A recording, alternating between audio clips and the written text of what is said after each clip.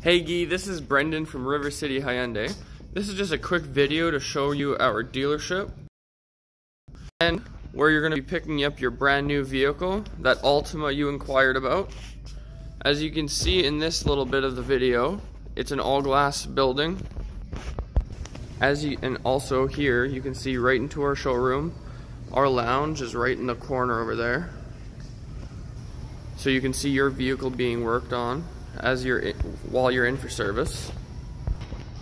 And this here is our wonderful lounge. It has a Netflix TV, so you can be entertained while you're while you're waiting for your vehicle to be serviced. So, as you can see behind me, it's an all glass building. You can see absolutely everyone working. It's a wonderful, wonderful building to be served serviced at.